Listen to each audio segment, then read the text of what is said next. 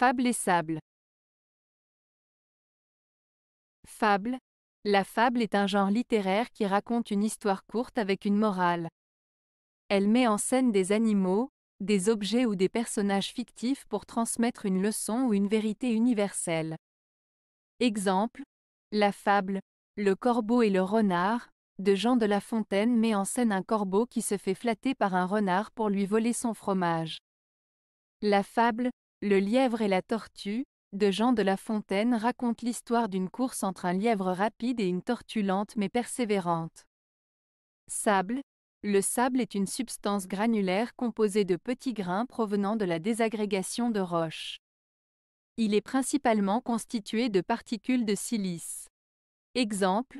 Les enfants jouent souvent dans le sable à la plage, en construisant des châteaux de sable. Les déserts sont principalement constitués de vastes étendues de sable. Différence La principale différence entre fable et sable réside dans leur nature et leur utilisation.